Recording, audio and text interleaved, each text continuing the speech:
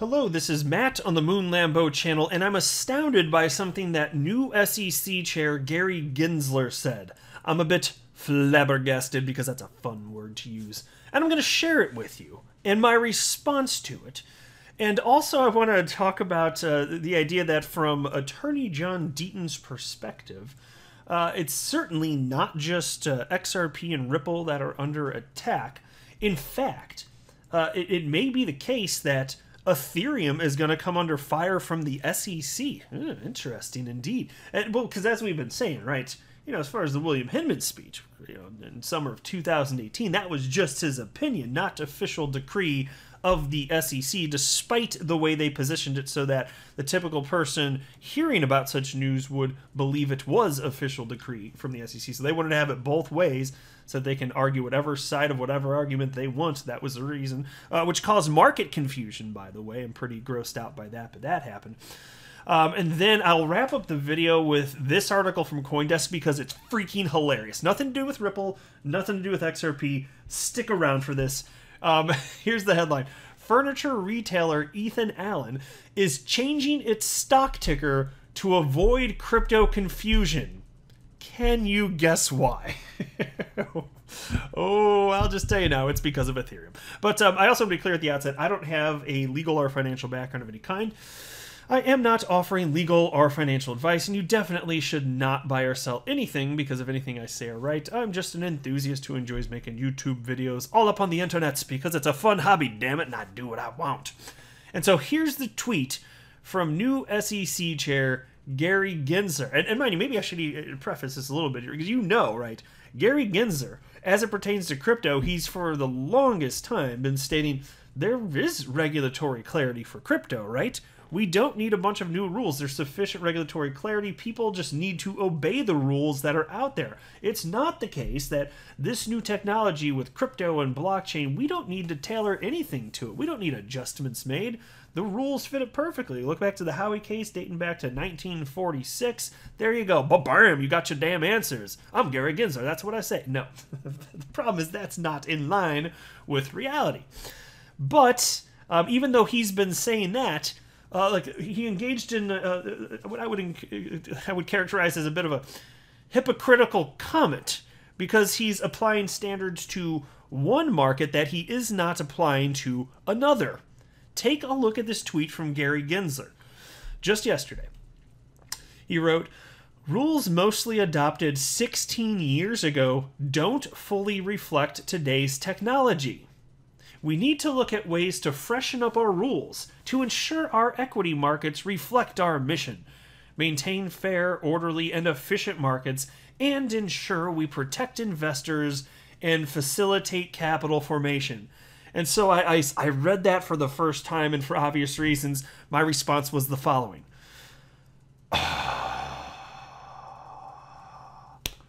That smack was a face palm. If you heard, that. I hope the mic picked that up. That was a face palm. Right. That was my response the first time that I read this. I was like, "What in the ever loving hell? This is why we cannot have nice things. This is why we cannot have nice things."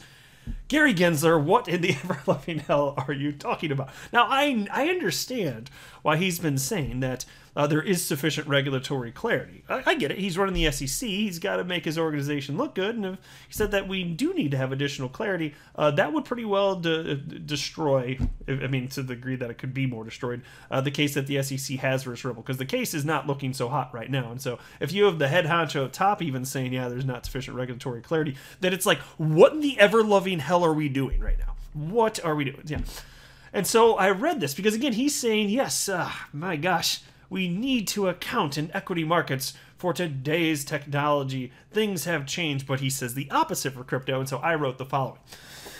Rules applied to equity markets from 2005 don't fully reflect today's technology, but rules applied to crypto markets from 1946 do fully reflect today's technology question mark which is why my inflection goes up like that and then all I could do is just one emoji, this little like glazed over face looking guy, that guy right there. I, I was like, that's that's the right emoji for this. That's that's uh, like audible sigh, face palm. That, that that was the response, and I felt that pretty well captured it right there. what in the ever loving hell is going on? Like the stuff we're getting from Gary Gensler, it's fairly ridiculous.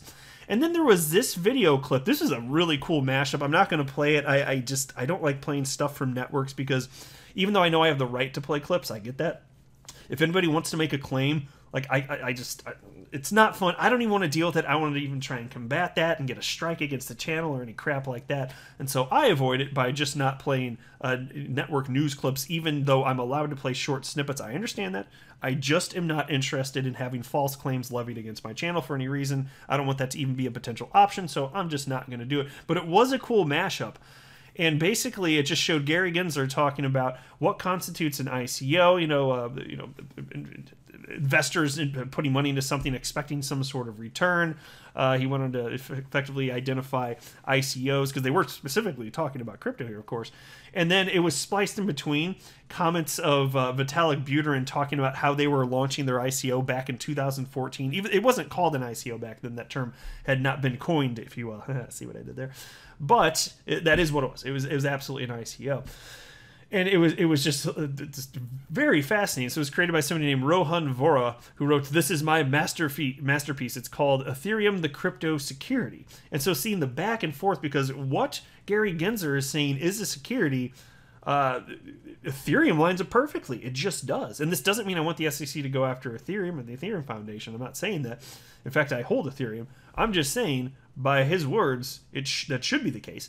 And in fact, Gary Gensler, before William Hinman's uh, Summer Comments 2018 came out, uh, he had actually, Gary Gensler publicly stated that he believed that both Ethereum and XRP were securities. That was his opinion in the within the first several months or so of 2018.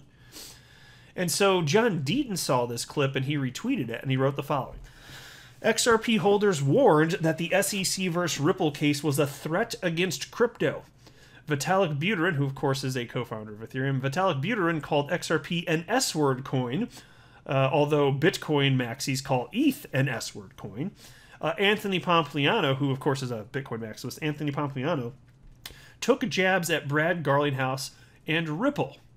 And, uh, and BlockFi is now in the crosshairs of the government and Ethereum. And so note that just the other day when Gary Gensler was speaking publicly at that Aspen forum, whatever it's called, Aspen, what was that? I can't remember the full name. It was Aspen something forum, whatever it was. Anyway, I covered it pretty in depthly. I just can't think of the, the, the full name of the the actual uh, entity for some reason. But uh, regardless, at that event, Gary Gensler was asked specifically about Ethereum, and he refused to provide any sort of clarity. So it looked like he was kind of walking back the way that uh, it was being treated under the previous administration when, when Jay Clayton was was the SEC chair. So is Ethereum actually going to be in trouble? I, I don't know if they're going to launch anything, but uh, against them, but they absolutely could. That's in the realm of possibility. And then you look at uh, Anthony Pompliano. The comments that, that John Deaton was referencing, I've actually talked about on my channel before. It, it, on December 22nd of last year, when the SEC filed their legal complaint against Ripple, Anthony Pompliano put out a tweet, something to the effect of, good morning to everybody except those who thought they could sell securities and get away with it.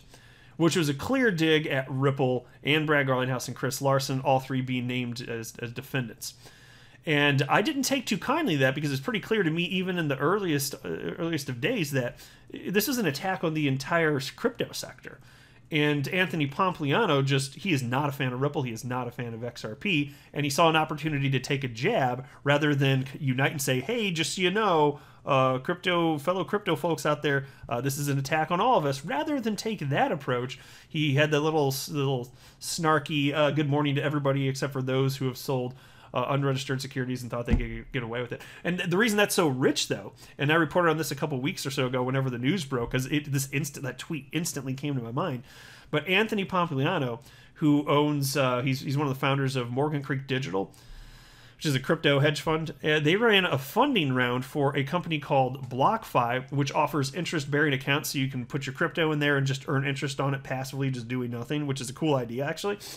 And Anthony Pompliano, he actually ended up on the board of directors of BlockFi. And so, um, BlockFi ended up being accused of selling, you guessed it, unregistered securities, cryptocurrency. Yep, it was they were absolutely they were accused of selling unregistered securities in the crypto sector. And so I'm just sitting there thinking, huh, I guess Anthony Pompliano was, uh, Pompliano was saying a, a good morning to everyone except for himself and BlockFi because they thought they could get away with it. And look, I'm not even saying they actually did anything wrong. I'm just saying, my gosh, if I believed in karma, and I don't, but if I did, I'd be like, eh, right there, right there. so it's uh, it just it was just like one of the most rich moments i've like I, I really enjoyed that one i did now i'd rather we just all come together but if people are going to refuse to be part of like some sort of cohesive crypto unit and they're not because they're tribal uh, well then when you get yours too don't be surprised but yes indeed they, they, they for sure could come after ethereum here um, and then there was this from uh, somebody within our community named Equity Capital, who wrote the following This is a war between the United States government and U.S. Tier 1 banks who control the SEC, and then parentheses he writes, a rogue U.S. regulatory agency, uh, in parentheses, and their enforcement agenda. Handing regulatory oversight of crypto to the SEC is allowing the fox to guard the henhouse and will be the death knell to U.S. innovation. It's an interesting idea, and so John Deaton actually retweeted that and wrote the following. Think about this for a moment. The SEC governs securities. Why is Gary Gensler focusing on decentralized finance and claiming it needs regulation by the SEC? It's called decentralized finance. Why is the SEC even considering getting involved in decentralized finance? Good question. I don't know. I don't know that there is a good answer to that. That is, I mean, eh, it, I mean, are they? Because look, it, it seems like a, such a stretch to me. Because you'd have to argue that something is being packaged and sold as an investment contract, as a security. I mean, if there's a legitimate argument some aspect of this, uh, okay, uh, maybe, but in a general sense, no. This this this doesn't seem to make a whole lot of sense. It, it just it seems to me, and I've been highlighting this uh, really ever since, well, more intensely at least ever since December after the SEC went after Ripple. But it just seems super clear to me that the SEC is reaching for as much power as possible, and they're going to get away with however much other humans let them get away with. They need to be reined in, and they shouldn't have this much much power. They shouldn't be able to have this much oversight on uh, all sorts of aspects of finance that really uh, should should not fall under their purview. That, that's the way I'm looking at it. Uh, here's a tweet from Jeremy Hogan, and uh, he shared a comment with a from a friend, and then his response to it. So his friend's comment was. Why are you putting money in crypto, shorted companies, mining, all that weird stuff? And his response was, Where is better? Regular stocks? I remember the dot com bubble.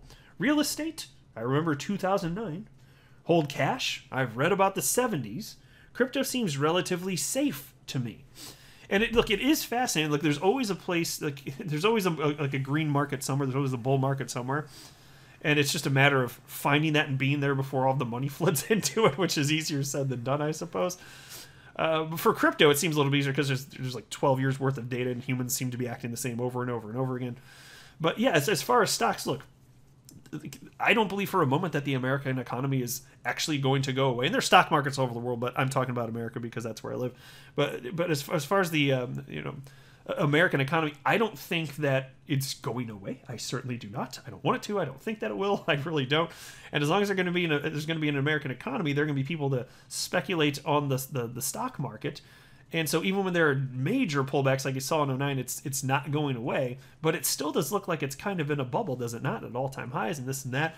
And so I don't know when that bubble's going to pop. I don't know if it's going to run up for another year or three years. I, I don't pretend to know. I, I don't but at some point it's going to pop.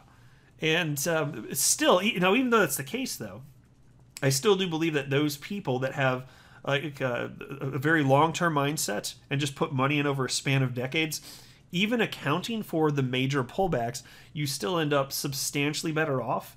You know, thanks to the the uh, the eighth wonder of the world, which is compound interest. If you just regularly invest from a very young age over a span of decades, I mean, you, you can be middle class and if you just um, if, if you just invest regularly from a young age you can be a multimillionaire. And if you don't believe me my gosh I, i've only talked about this so often but i'm not kidding. Like compound interest is the eighth wonder of the world. Google compound interest if you don't know what this is find a compound interest calculator start playing with it and understand that things snowball as you you, you uh, invest money. It becomes worth more, and then if you don't take out the out the part that made your little wad become worth more, then that that becomes worth more and just grows and grows and grows and uh, eventually exponentially. And so j- just even just being middle class. I mean, even if you're only making like uh, your whole life, your whole life, say say you don't have any upward mobility beyond like even like you know 40 50 60,000 whatever just make up make up a number which would be a normal nice salary for many people especially in the Midwest uh, even at that, if you if you if you plan from a young age and then just invest, you'll have millions of dollars by the time you retire. I, I, like, I, I, like that's not even taught in school, and it's just so frustrating and disappointing. People don't realize the opportunity. Like you, the, the, people have this idea that in order to reach financial freedom, you have to uh, just strike it rich or be lucky or something like that, or just have some incredibly high-paying job. But it's actually not true. You can just have a nice regular salary, which is a respectable salary, and, um, and, and even if you didn't experience upward mobility beyond that type of range, you can still be worth millions of dollars. I kid you not. Google a compound interest calculator. Um, it's a real thing here. And so that's why for me, like, even though, yes, I, there could be a bubble here, if you think long term enough, it probably, frankly, doesn't matter. But uh, Jeremy's, Jeremy Hogan's point here is not lost on me. This is true. Bubbles, see, bubbles form in every asset class. And that's why to me, bubble is not such a dirty word. It doesn't mean that something is scam and it's going to zero. It just means like, prices ran up quickly. Uh, the market's ahead of itself, and prices need to adjust based on supply and demand dynamics, which you know they are what they are. Um, and then cash, certainly, I'm not keeping money in cash. So that's for damn sure. That that's just like a melting ice cube. Uh, inflation is eating its purchasing power away, and so crypto sounds perfectly reasonable to me. Um, but ultimately, having a diversified portfolio is what I'm going for. But yeah, to all these people on the outside that just don't understand why we're in crypto, my gosh, you need to maybe do some more research and get a handle on exactly what the crypto space is because it's incredibly appealing and it is not going away.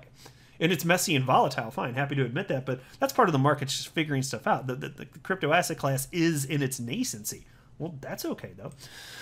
All right, shout out to my fellow XRP YouTuber, James Rule XRP, who shared this last piece, which is really interesting. You're going to get a kick out of this, I think. I certainly did. This one's titled Furniture retailer Ethan Allen is changing its stock ticker to avoid crypto confusion. This, is, this comes from Coindesk. U.S. furniture maker and retailer Ethan Allen Interiors wants you to know that its vision of American design is meant to evoke classic, country, and coastal and modern. It does not do crypto. To make this clear, the company announced Thursday it is changing its New York Stock Exchange ticker symbol from ETH, ETH, to ETD to avoid confusion with the cryptocurrency Ether. that is hilarious. The Danbury, Connecticut based company's stock soared earlier this year, which many analysts attributed to retail traders uh, confusing its symbol with the identical abbreviation for Ether. Gotta love this. The native currency of the Ethereum network. And here's a quote from Rishi Khanna, CEO of StockX, told uh, the Wall Street Journal the following in May. We've definitely seen a massive increase on a percentage basis in mistaken activity on the Ethan Allen stream. Are you kidding me? People people are purchasing stock in a furniture company thinking that they're buying a cryptocurrency? Who are these mouth breathers? Oh my god. It finally happened. We got we got the crypto on the, oh, stock exchange. Uh, I'm gonna get oh, I get mad. I'm catch my breath. I'm, I'm gonna give me some some ETH. is that is that what's happening right now? Is that actually what people are doing? I just I cannot I cannot imagine this. I just I can't even. I am not capable of evening right now. Oh, I think it's funny. I'll wrap up there. I am not a financial advisor. You should not buy or sell anything because of anything that I say or write. That would be a very, very, very bad idea. Until next time, to the moon, Lambo.